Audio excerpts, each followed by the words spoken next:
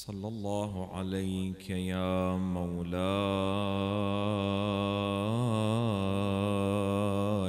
يا أبا عبد الله. صلى الله عليك يا مولاي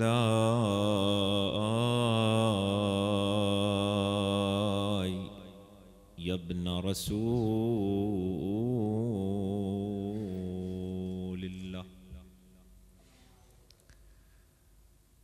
وابن أمير المؤمنين وابن سيد الوصيين وابن فاطمة الزهراء. سيدتي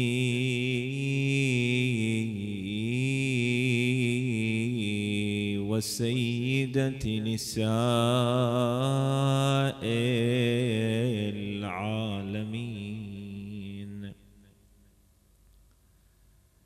يا رحمة الله الواسعة. ويا باب نجاة الأمة وسراج الظلمة وأبا الأئمة غريب. يا مظلوم كربلاء. يا ليتنا ثم يا ليتنا كنا معكم سادتي. فنفوز والله فوزا عظيما.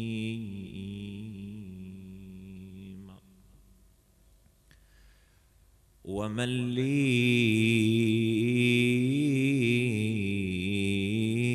إذا قلبتني الأكف ومن لي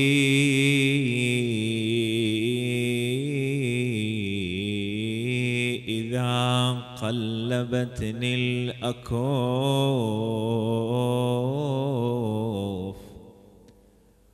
وجردني غاسلي عن ثيابي. ومن لي إذا امتازت الفرقتان أهل النعيم وأهل عذابي وكيف يعاملني ذو الجلال؟ ولا أدري إلى ما يكون انقلابي.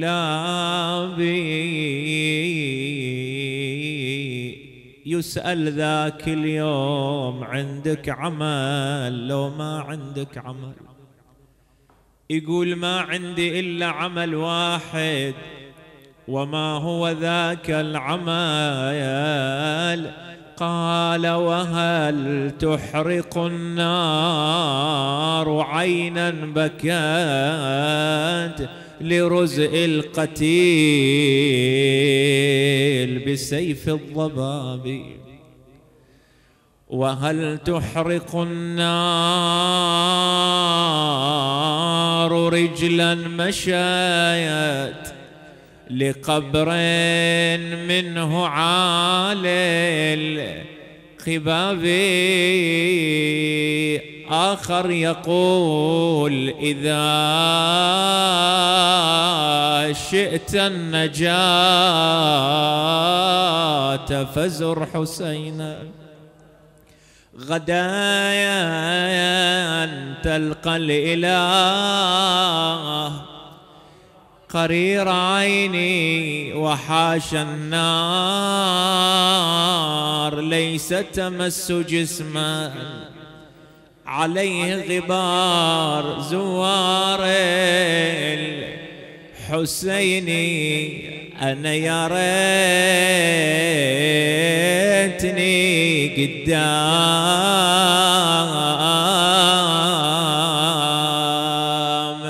كل واحد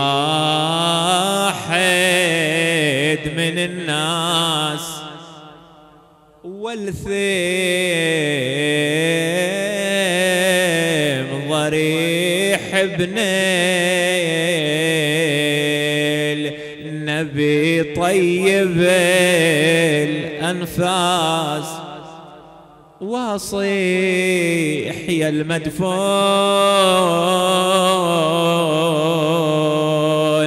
بس جثة بلارة يا أكرم الناس دفنوك بغير تجفي. ولا من وصلت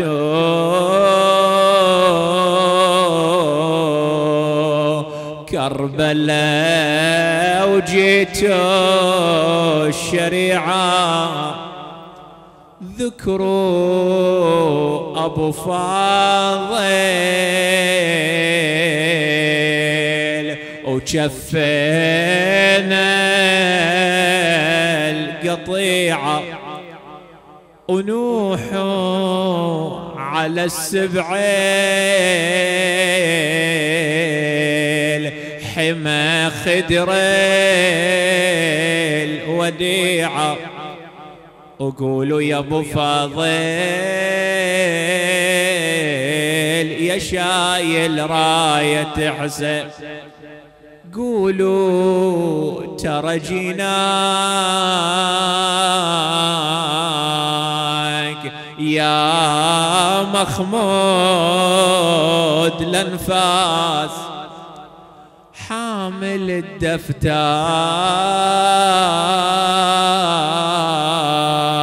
كاتب الزوار عبار. جان الخبر مثبوت فضخوا منك الرب وعلى الشريعة قطعوا منك الشفة والمرجع لله وما توفيقي إلا بالله عليه توكلت وإليه أنيب. قال الحق عز من قائل وبشر الصابرين الذين إذا أصابتهم مصيبة قالوا إنا لله وإنا إليه راجعون. آمنا بالله. صدق الله مولانا العلي. من درر القرآن الكريم التي ذكرها القرآن في غير واحدة من المواضع أن القرآن الكريم تفرد بأسلوب راق وفريد من نوعه في إلزام البشرية ببعض الأحكام الشرعية. بعبارة أوضح أقول القرآن الكريم بما هو دستور إلهي. وميثاق جعله الله عز وجل بيد البشرية.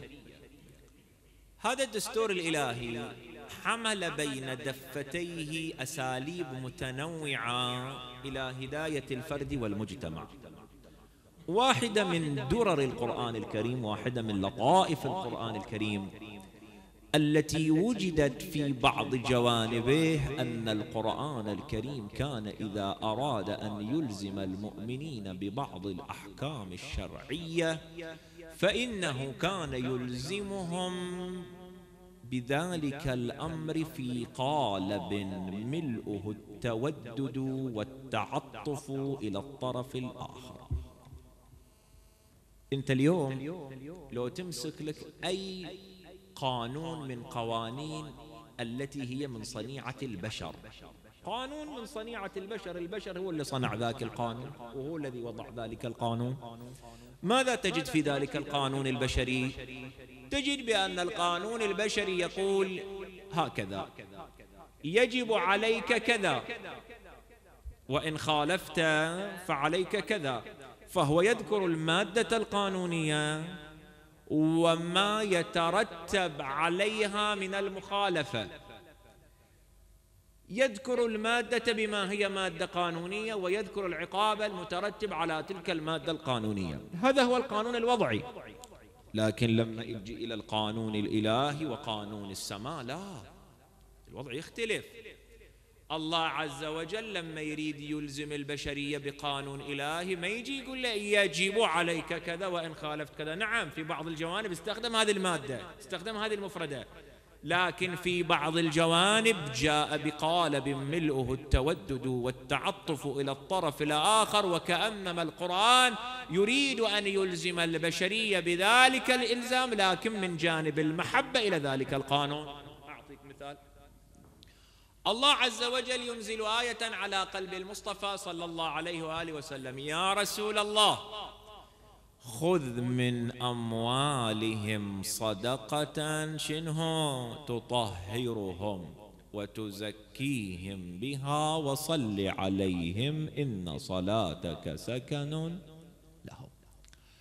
علماء الأصول يقولون بأن فعل الأمر ظاهر في الوجوب. الله لما يقول أقم الصلاة يعني الصلاة واجبة. لما يقول كتب عليكم الصيام يعني الصيام واجب. هنا القرآن يقول خذ من أموالهم. يعني أخذ المال واجب. شاء الإنسان أو أبى. ضريبة إلهية ضريبة مالية أمر بها الحق سبحانه. يجب على كل مسلم مؤمن يطلع الزكاة الواجبة. يذكر الشيخ الكليني عليه الرحمة في كتابه الكافي الشريف رواية عن صادق آل محمد عليه السلام يقول لما نزلت هذه الآية نادى مناد في المدينة إن الله فرض عليكم الزكاة كما فرض عليكم الصلاة مثل ما الصلاة واجبة الزكاة بعد شنو؟ واجبة. شاء الإنسان أو أبى لابد أن يصلي وشاء الإنسان أو أبى لابد أن يخرج الزكاة الواجبة. خل فكرك يمي. هذه الزكاة الواجبة الله محتاج إليها. إليه حاجة في تلك الزكاة إليه غرض في تلك الزكاة. الله يقول بسم الله الرحمن الرحيم خذ من أموالهم صدقة شنها تطهرهم. هم محتاجين إلى التطهير. هذه الزكاة الواجبة إذا طلعوها تحقق التطهير والتطهير ما هو؟ يقولون إزالة القاذورات إزالة الأوساخ. الإنسان قد يتلوث بأدران المادة. قد يتلوث بالمعصية. فيحتاج غسيل يحتاج شيء طهرة. يقول أن تخرج الزكاة الواجبة هذا تطهير. هذه الأوساخ اللي تعلقت بهذا البدن تروح ويا ويا إخراج الزكاة الواجبه هذا واحد. اثنين تطهرهم. تطهرهم وتزكيهم بها. التزكية يعني شنو؟ التزكية هي النماء. سميت الزكاة زكاة لأن الإنسان يرجو بإخراجها أن يزكو ذلك المال. أنا لما أجي وأقبض على هذا المال وأعض عليه بالنواجد خوفا من ماذا؟ خوفا من أن ينقص. خوفا من أن يذهب هباء. القرآن يقول أنا أضمن لك زيادة المال وأن هذا المال يزكو وينمو. بماذا قال أخرج الزكاة الواجبة؟ فتجد بأن الله مو محتاج للزكاة لكن جاء بهذه الفريضة يقول للبشرية أنتم محتاجين أن تخرجون الزكاة إحنا مو محتاجين. وهذه الزكاة اللي الله مو محتاجينها يجب على الإنسان أن يخرجها. تعال شوف أسلوب القرآن. لما الإنسان يخرج الزكاة الواجبة الواجبة عليه إلا الله مو محتاج إنها الإنسان محتاج إنها تزكيه وتطهره. زين؟ تعال شوف القرآن. يقول للنبي صلى الله عليه وآله يا رسول الله إذا أخرج الزكاة الواجبة هنا تكليف يناط بك يا رسول الله. ما هو؟ قال إذا جاء المسلم أطلع الزكاة الواجبة عليه ينبغي يا رسول الله ماذا؟ قال وصل عليهم. إن صلاتك سكن لهم. إلا بيخرج الزكاة الواجبة يجب عليك أمر من الله أمر من عند الله. يجب عليك يا رسول الله أن تخرجه أن تصلي على مخرج الزكاة. ليش؟ قال هذا اللي أخرج الزكاة. أحسن. سوى إحسان والإحسان يكافأ بإحسان مثله.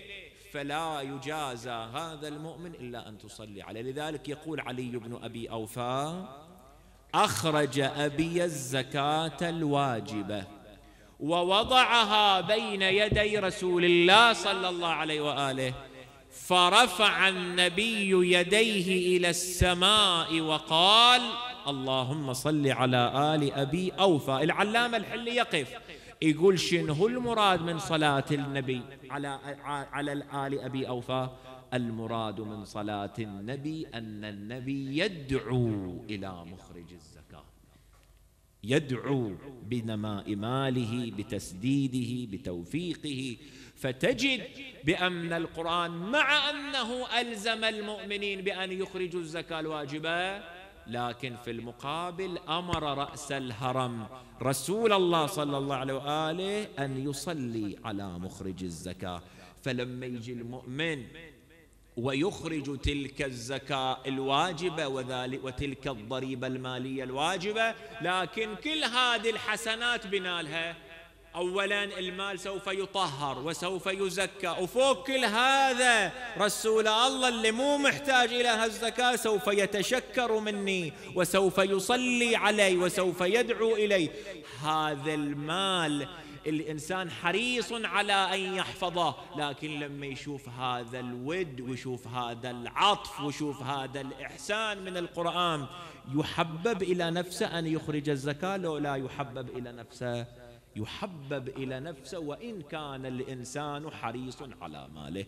الإنسان أحرص على اثنين حريص على نفسه وحريص على ماله. تحبون المال حبا جما. لكن لما يشوف تعال أنا لما أخرج الزكاة ترى الإسلام بيتعامل وياي بهالعاطف بهالحنان بهالود. فوق كل هذا ما يبخل يعطي الإسلام ويعطي رسول الله وهو يحب الإنفاق في سبيل الله. فتجد القرآن حبب للمؤمنين الإنفاق في سبيل الله. لكن مو قال له إذا ما طلعت سوف نأخذك أخذا شديدا وعذابنا قال لا. خلى الإنفاق محبب إلى قلوب المؤمنين في قالب ملؤه التودد والتعطف والحنية. اليوم في القوانين الوضعية في قانون يقول لك لما طلعت الضريبة المالية سوف يغضى الطرف عنك أو لا؟ إلى ما طلعت الضريبة إذا أخرجت الضريبة المالية الواجب عليك قانون من صنيعة البشر. يجي يقول لك لين طلعت الضريبة الواجبة يجب عليك تطلع الضريبة المالية. ولين طلعتها يقول لك المشرع لذلك القانون مشكور رحم الله والديك. هذا موجود في القانون الوضعي. قانون السماء يقول لا مخرج الزكاة هذا يترحم عليه رسول الله ويدعو له رسول الله بل ويشكره رسول الله على أن أخرج الزكاة الواجبة. فالقانون فالقرآن تميز بهالأسلوب أسلوب التحبب أسلوب التودد إلى البشرية في صناعة القانون البشري. بعد القرآن تفرد في أن زرع في النفس البشرية بعض الأخلاقيات أيضا بنفس هذا الأسلوب. يعني مثلا من من الأخلاقيات اللي زرعها القرآن في نفوس المؤمنين أخلاقية الصبر. أنت لو جيت قلت لي أخلاقية الكرم أيضا زرعها أقول لك الكرم مما ينسجم مع طبيعة الإنسان. الكرم يتوافق مع طبيعة الإنسان. يعني هذا حاتم ما كان مسلم. لكن طبيعته كانت طبيعة بذل وعطاء وإنفاق. فلو جاء الإسلام وقال له حاتم ترى نريدك تنفق وهذا مما يحببه الإسلام. ما راح يختلف الوضع عند حاتم الطائي لأن طبيعة انسجمت على ذلك الأمر. لكن تعال إلى صفة الصبر اللي ما تنسجم ويا طبيعة الإنسان. الصبر ما ينسجم مع طبيعة الإنسان. تعال أنت غني وبتصير فقير واصبر. أو ولد عزيز على قلبك فلذت كبدك ويخطف ويختطفه الموت ويقول لك القرآن اصبر. أو أنت يوم من الأيام عزيز قوم لك صدارة المجلس ولك الكلمة الفصل وإذا الدنيا دارت بدوائرها وأصبح ذلك العزيز ذليلا وقل لك أصبر هذا الصبر ما ينسجم ويا طبيعة الإنسان. ما يقدر الإنسان يصبر. كل شيء قال اصبر كل شيء قال اصبر ما ينسجم. قلب الإنسان لا يتحمل. طاقة الإنسان لا تتحمل. فشلون أنت تزرع فضيلة الصبر وخلق الصبر؟ في شيء لا ينسجم والطبيعة البشرية لا ينسجم والطبيعة الإنسانية. يجي القرآن. يزرع لنا هذه الفضيلة بأسلوب جدا راقي. بحيث أن الإنسان لما يقرأ آيات القرآن يتمنى أن تحل عليه مصيبة ويصبر حتى ينال هذا العطاء الإلهي اللي الله ما يعطيه للإنسان الصابر. ولنبلونكم بشيء. مو كل البلاء. الله يقول ما بنعطيك كل البلاء. ما قال ولنبلونكم بالخوف. قال ولنبلونكم بشيء. لأن الإنسان ما يقدر على كل البلاء. هو تمر عليه نسمة من بلاء تشوفه يضطرب ويعيش الوجل والخوف. ولنبلونكم بشيء من الخوف والجوع ونقص من الأموال. شوف تعبير القرآن. ولنبلونكم قال بشيء من الخوف والجوع ونقص من ونقص من الأموال والأنفس. يعني مو كل مالك بناخذه ولا كل الأنفس بناخذها بعض من المال بعض من الأنفس. ونقص من الأموال والأنفس بعد والثمرات. الثمرات يعني شنو؟ الولد. ثمرة قلب أبيه. الله يقول إحنا بنبتليكم بهذا البلاء. العظيم. خوف جوع نقص من الأموال الأنفس الثمرات. بعدين وبشر ال... ما قال وبشر الذين صبروا وإنما قال وبشر وإيش الفارق؟ ليش الله ما قال وبشر الذين صبروا؟ ليش قال وبشر الصابرين؟ ها نروح إلى الميزان. التفسير العظيم للعلامة الطبطبائي عليه الرحمة. يقول سيد الميزان يقول تعليق الوصف على حكم يقول بأن إطلاق الوصف لا يدل إلا على التلبس. بخلاف المعنى الوصفي فإنه يؤدي فإنه يعطي صيرورة المعنى الوصفي ملكة في الإنسان. شنو معنات هالجملة من العلامة الميزان أوضح لك بهالمثال. يقول العلامة صاحب الميزان هناك فرقون بين قولك الذين صبروا والصابرين وقولك الذين شكروا والشاكرين. وايش الفرق سيدنا؟ يقول لما يقول القرآن الذين صبروا يعني هذا صدر من عند صفة الصبر مرة واحدة. لما يقول الذين شكروا يعني هذا صدر من عند فعل الشكر مرة واحدة. لكن لما يقول الشاكرين لما يقول الصابرين معناته هذا مو صدر من عند الخلق مرة واحدة. هذا معناته طول الخط كان صابر وطول الخط كان شاكر. أنت متى تسمي الكريم كريما ذاك اللي صدر من عنده فعل الكرم مرة واحدة. هذا ما تسميه كريم. بل تتعجب منه أن مثل هذا الإنسان صدر من عنده فعل الكرم مرة واحدة. لكن لا تسمي الكريم كريما إلا إذا كان ديدن شنه ديدن الكرم. إذا كان ديدن الكرم تسميه كريم. ارجعوا وياي الكتاب الكتاب الفقه. سيد الإمام عليه الرحمة يقول الكلمة. يقول في صلاة الجماعة هناك شرائط لإمام الجماعة. واحدة من شرائط إمام الجماعة قال أن تكون العدالة ملك راسخة في نفسه. ليش العدالة ملكة راسخة في نفسه؟ يقول ذاك اللي يسوي الغلط ورد يتوب منه مرة ثانية وعقب يومين رد يرتكب الخطأ مرة ثانية ورد يتوب. يقول هذه التوبة ترجع إليه العدالة. يقول لكن هذه العدالة مي ملكة راسخة في نفسه. لو كانت العدالة ملكة راسخة في نفسه لما ارتكب الذنب مرتين في يوم واحد أو متعاقبين. الإنسان إذا كانت العدالة ملكة راسخة في نفسه يندر منه أن يخرج منه الذنب. يندر منه يعني مو ما يخطأ يخطأ. لكن الأصل فيه أنه عادل. حريص على أن يبتعد عن الخطيئة حريص على أن يبتعد عن الذنب.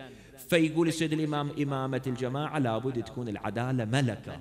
لذلك يعرفون الملكة بأنها شيء راسخ في النفس. الشيء الراسخ في النفس يسمونه ملكة. السيد صاحب الميزان يقول الله لما جاي يمدح المؤمنين ما قال وبشر الذين صبروا. ليش؟ يقول لأن الإنسان في أول البلاء قد يكون صابر. شوي يحتدم البلاء قد يكون صابر لكن مو بالضرورة في آخر البلاء يكون صابر. هذا يقول صبر. أول البلاء صبر في وسط البلاء صبر لكن آخر البلاء جزع. الله يقول إحنا هذه البشارة ما نعطيها حق الذين صبروا.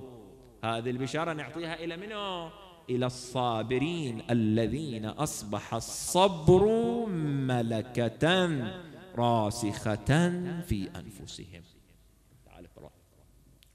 وبشر الصابرين.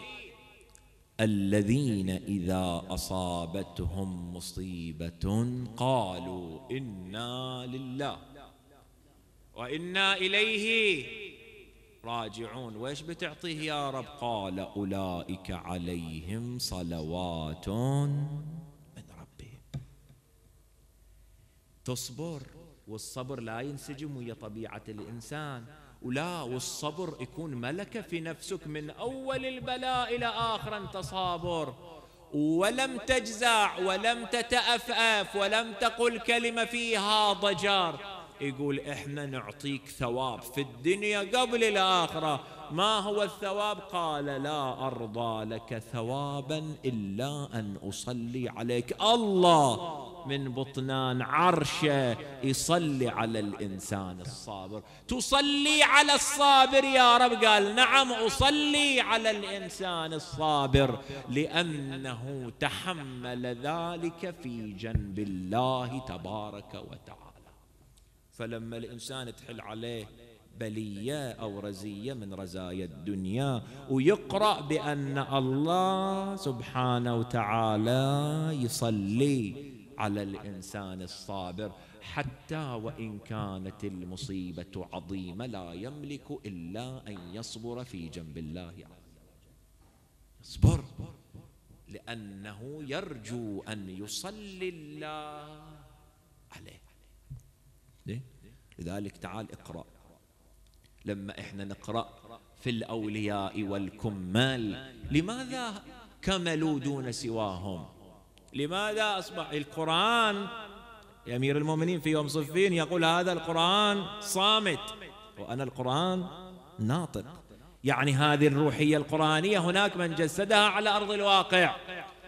فإذا كان الله يقول قرانا نحن نصلي على الإنسان الصابر. قرآن الله الناطق في يوم كربلاء كان صابرا أم كان جازعا؟ يقول الراوي ما رأيت مكثورا تكاثر عليه الجيش أربط جاشا من الحسين عليه السلام. لسانه بماذا كان؟ قال هون ما جرى علي أنه بعين الله. نيف وسبعين جثة على واهجة الرمضاء. من جملتهم ثمانية عشر بدر من بني هاشم كعلي الأكبر والقاسم وغيرهم. ومع ذلك قال إلهي إن كان هذا يرضيك فخذ حتى ترضى. واللي شاطرت الحسين في رزاياه ومصائبه فخر المخدرات زينب. ساعد الله قلبها لما رجع جواد الحسين يحمحم. ويصهل صهيلا عاليا. خرجت ظنت بأن الحسين قد أتى لها بما يهوى الفؤاد. ما خرجت إلا والسرج مائل. وعنانه مخضب بدم الحسين عليه السلام. وين تتوجه؟ وين تروح؟ ونسوان وأطفال توجهت إلى باقي البقية الإمام زين العابدين يا ابن أخي ما تأمرنا؟ 180 طفل طفلة عن زينب وكلهم على عاتقة. يا ابن أخي ما تأمرنا؟ قال عم زينب أين والدي الحسين؟ عم زينب. أين عمي العباس فتح عينه وصاح. يا عم أبو يا حسين وين؟ ما يسكت هاليتامى ذوبون من الحنين صاحت الله يعظم اجراك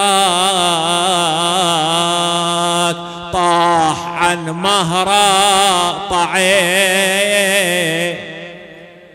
بالرمح راسه وجثته بالعوادم رضضه صاح وين القمر لزهايار أبو الفضيل راعي الزور ما نريد الماي خل يرجع ولا يملي الجوع.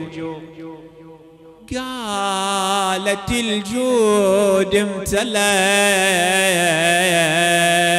وين قطعت عليه الزنوب ملك والينا الشريعة. وبالعطش وسف قضى صاح قولي لابن عمي. جاسمي لمها الاطفال ما هو لازم هالعريس وإحنا يا عم بهالأحوال. قالت الجاسم تراياك